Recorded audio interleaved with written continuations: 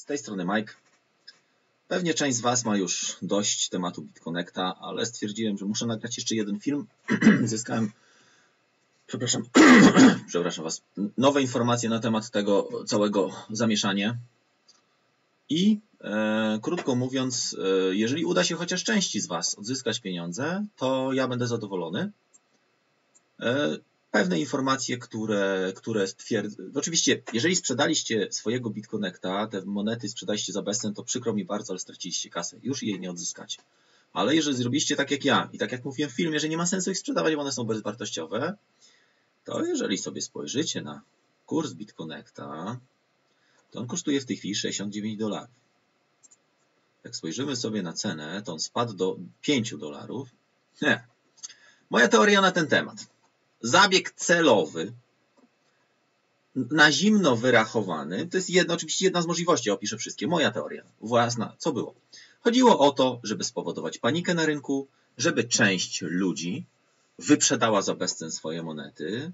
Zobaczcie, cena spadła do 5 dolarów, tak? A Bitcoin był warty, mm, zobaczcie, tutaj gdzieś tam 300, jak weźmiemy sobie jeszcze miesięczny interwał, to on był warty nawet 470 dolarów. Było oczywiście e, tąpnięcie jakieś delikatne na rynku, tu było tąpnięcie, odbicie, tąpnięcie. Moim zdaniem wyglądało to tak. Duzi gracze, supporterzy BitConnecta dostali informację, będzie, nie wszyscy, ale oglądając film tego Trevona całego, mam wrażenie, że on doskonale wiedział o tym. Gość teraz śmieje się ludziom w twarz i mówi, ja dokupuję sobie teraz monety BitConnecta, czy dokupiłem. Ech o co w tym wszystkim chodzi? Chodziło o to, oni tu napisali, że tam wszystkie informacje, tak, gówno prawda. Chodziło o to, żeby część ludzi straciła pieniądze. Celowy zabieg, no i teraz tak.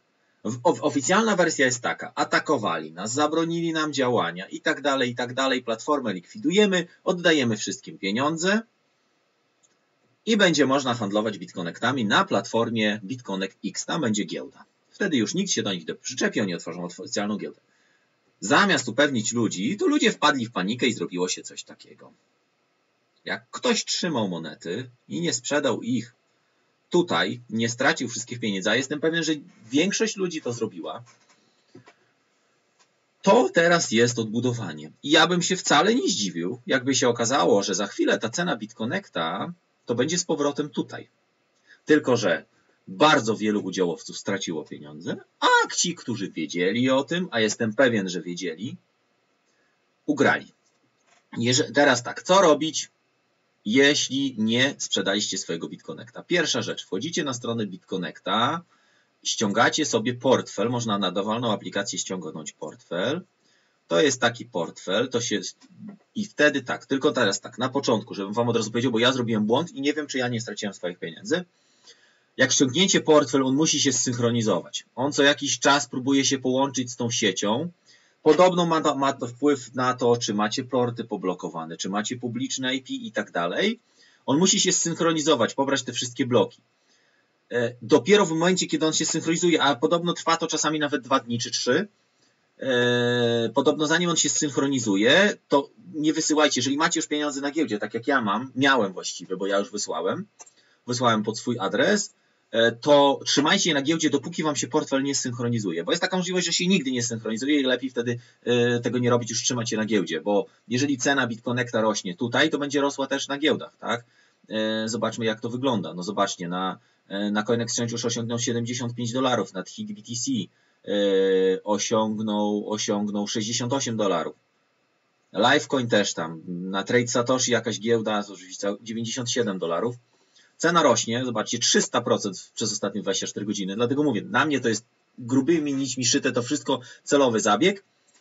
No ale jeżeli to zrobiliście, to pobierzcie sobie, pobierzcie sobie ten portfel. Ja nie mam publicznego IP. Pojawiło mi się, miałem nawet trzy połączenia. Podejrzewam, że on coś pobiera. W tej chwili jest zero. Zaraz spróbuję jeszcze robić taki myk, że laptopa podłączyć do komórki. Być może tam więcej.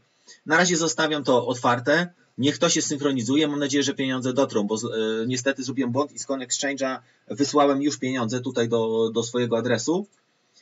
Jak się to, to będzie można później, jak oni otworzą giełdę, będzie można spróbować sprzedać. No chyba, że ewentualnie już Was satysfakcjonuje ta cena, która jest w tej chwili tutaj, to możecie sprzedać te monety. Mnie na razie nie satysfakcjonuje, ale jeżeli cena pójdzie powiedzmy gdzieś tam do no ja miałem 260 dolarów swojego wkładu, to jeżeli mam 1,2 bitcoina, to powiedzmy przy 200 kilkudziesięciu dolarach ja już będę, odzyskam swoje. A jeżeli cena wróci do tego poziomu tutaj tak jak było, z powrotem gdzieś tam wróci na te, te 300 dolarów czy coś, to ja będę na plusie. Czyli generalnie Bitconnect, Bitconnect da mi zarobić. Moja teoria następująca, co co mówiłem. Ja uważam, że to było wszystko ukartowane. Przy okazji po, powiązało się z tym, że waluty, że waluty zaczęły spadać. Oni mogli mieć sygnał, bo e, są informacje takie, że to wszystko było, cały ten spadek na giełdzie, że to było wszystko to, co ja tak twierdzę dalej, że było dziwnym trafem Bank Indonezji, który twierdził, e, czy jakiś tam inny bank, który twierdził, że będą waluty zdelegalizowane, zaraz po tym, jak skończyła się ta pompa, e, wypuszczone zostało dementi, które, a do czego prowadzą spadki, to Wam powiem. Pokażę Wam jedną rzecz, pokażę Wam jedną rzecz, jeśli chodzi o, o Liska, może ja to znajdę, na TradingView i na, e, na tym, na trading, nie no, tutaj TradingView, e, pokażę Wam, do czego prowadzi panika. Jeżeli znajdę to na TradingView, e, to zobaczycie, ile kosztował lisk i ktoś kupił liska na BitBayu, w jakiej cenie. Być może część z Was już wie. Zobaczmy, lisk. Nie wiem, czy BitBay jest tutaj. Nie, to wejdziemy sobie, powiedzmy sobie, wejdźmy wejdźmy sobie tutaj na BitBaya. E, na BitBaya sobie wejdźmy. Ja tylko muszę sobie na drugim monitorze przygotuję i zaraz Wam to e, zaraz Wam to przeciągnę. Dobra, mam tutaj BitBaya i patrzcie teraz tą rzecz. Ja byłem w szoku, mi szczęka opadła, jak to zobaczyłem. Zmieńmy domyślną walutę na dolary. Lisk w dolarach. I zaraz zobaczycie, co się stało z Liskiem. Popatrzcie cenę. Popatrzcie na cenę. Zobaczcie, co tu się stało. Ktoś nacisnął sprzedaj po prostu. Cena poszła do 50 centów. Wyobrażacie sobie? 54 razy można w tej chwili, biorąc pod uwagę, że on kosztuje, no to powiedzmy w tej chwili po 23 ktoś kupi. 46 razy, jeżeli ktoś to kupił, ktoś to kupił, kilkaset listków, e, z tego co się orientuję, było to na grupie BitBaya, że ktoś po prostu sprzedał 50 centów za liska, wyobrażacie sobie? No i teraz po co ja mówiłem, żeby ustawiać jakieś takie, oczywiście ja dolarami nie handluję, na, na za dolary nie kupuję liska na, na, na BitBayu, E, jak tak z ciekawości jeszcze zobaczę, jak to wygląda w euro. E, w euro. Zobaczmy, jak to wygląda w euro. Ile najniższa? 12 euro. Nie wiem, ile tam euro teraz kosztuje, około 4 zł pewnie, albo 3 coś, to też 40 parę złotych, ale tak zobaczmy za bitcoina, ile list kosztował, czy tu w ogóle coś się, ile najniższa? 163 tysiące satoshi, trzeba to świeżyć, no to jest mankament tej mankament tej strony, że ona e, wykresów nie odświeża. Lisk za, za bitcoina też był jakiś dołek, tutaj ktoś, jakąś sprzedaż, kupno tego, no masakra, nie? Na złotówkach było w miarę stabilnie, też spadła oczywiście mocno cena, 55 zł. Ja chyba za 57 kupiłem lisków trochę, ale to, co się wydarzyło na dolarze, to jest po prostu no, ktoś, kto chciał to kupić, to po prostu zrobił, podejrzewam, interes życia. Wyobraźcie sobie, jeżeli fakt, że to jest bardzo mały wolumen, ale wyobraźcie sobie, że ktoś tego liska za dolary miał dolary i kupił, no po prostu masakra. no ale odeszliśmy od tematu, to nas nie do końca interesuje. E, to też nas nie interesuje. Więc jeszcze raz podsumowując, ściągacie portfel, e, jeżeli nie sprzedaliście monet, tak? Jeżeli sprzedaliście, trudno, straciliście. No oczywiście można ryzykownie zagrać, próbować je odkupić, licząc na to, że zyskają, no ale one już o 300% poszły.